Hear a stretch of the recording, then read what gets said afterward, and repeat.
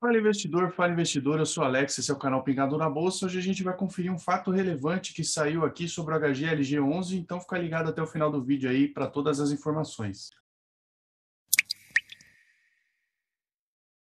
Bom, antes de mais nada, eu vou pedir para você se inscrever no canal caso não seja inscrito ainda e também curtir esse vídeo para ajudar bastante aqui na divulgação do nosso trabalho.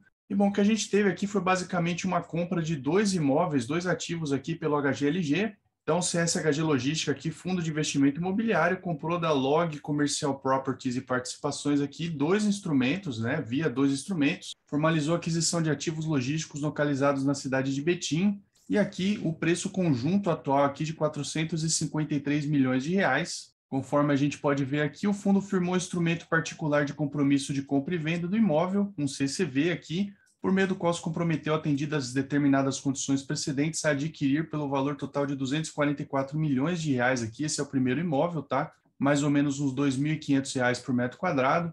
Eles compraram a totalidade do imóvel logístico. O preço do Build to Suit aqui, do BTS, vai ser corrigido pelo INCC a partir de julho de 2022, uma correção que está limitada ao dia 15 de outubro aqui de 2022, ou a data de entrega do imóvel BTS, o que ocorrer primeiro. Então, o CVV também aqui determina um ajuste de preço e esse ajuste foi calculado em 5 milhões 138 mil reais. E aqui o imóvel objeto do CCV é um ativo logístico monousuário, atualmente construção na modalidade Build to Suit, que é aquele que eles constroem para atender aí determinadas necessidades aí de quem está fazendo esse contrato para alugar o imóvel, tá? Com área bruta locável de 95.730 metros quadrados foi integralmente locado aqui para empresa de grande porte com previsão de conclusão de construção no terceiro trimestre de 2022. Aqui a gente vê umas imagens do imóvel BTS em construção e a localização do imóvel BTS aqui fica próximo ali da cidade de Betim, na rodovia Presidente Costa e Silva. O preço do BTS aqui será pago em três tranches diferentes, tá? Então, 167 milhões de reais aqui sujeito ao cumprimento das condições precedentes, pagos juntamente com a assinatura da escritura, 37 milhões e 800 aqui, sujeito ao cumprimento também das condições precedentes, no prazo de até 12 meses contados do pagamento descrito no item 1. Caso haja variação maior ou menor do índice do IPCA, previsto em 5,26% no período, vai haver um ajuste na parcela para representar o IPCA no período entre a assinatura da escritura e pagamento, e 38 milhões e meio de reais aqui, também sujeito ao cumprimento das condições precedentes, no prazo de até 18 meses aqui contados do pagamento descrito no item 1, então, também, caso haja variação maior ou menor do índice do PCA, previsto para 7,16%, no período vai haver um ajuste aí na parcela para representar o IPCA.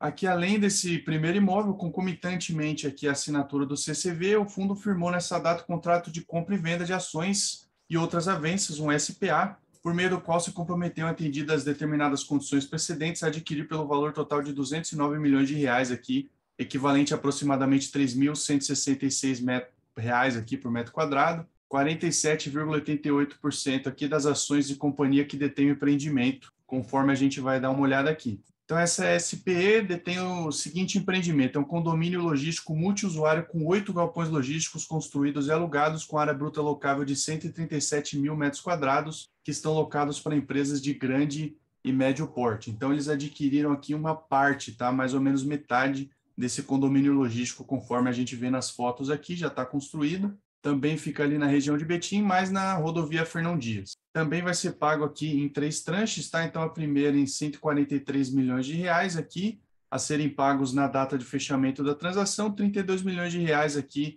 no prazo de 12 meses contados do pagamento da primeira tranche, e a mesma questão aí com relação ao IPCA, então previsto também 5,26% no período, vai haver um reajuste aí na parcela para representar o IPCA no período e a última tranche aqui de 32 milhões, quase 33 milhões de reais, igualzinho à terceira tranche do outro imóvel comprado pelo fundo. Então aqui o fundo vai fazer jus proporcionalmente quando concluída a transação aos direitos decorrentes dos contratos de locação já firmados e vigentes aqui entre a SPE e os atuais inquilinos do condomínio logístico, e nessa data o fundo não desembolsou nenhum dos valores de preço e não vai receber ainda nenhuma remuneração referente aos imóveis até a conclusão da transação. E bom, é isso por hoje. Espero que esse vídeo tenha sido útil para você. Se foi útil, considere curtir o vídeo, assine o canal para não perder os próximos conteúdos que a gente vai publicando por aqui. E também compartilhe esse vídeo com quem possa ter interesse nesse tipo de conteúdo. É isso por hoje. A gente se vê no próximo vídeo. Tchau!